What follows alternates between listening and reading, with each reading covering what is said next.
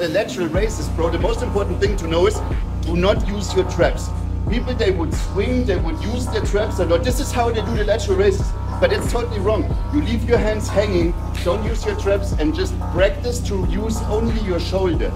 You never want to use your neck and your shoulder. You want to hang it, and then you just want to use your shoulders. Otherwise, you are cheating and you're taking away the tension from your shoulders. You will never get these 3D delts when you're cheating, bro.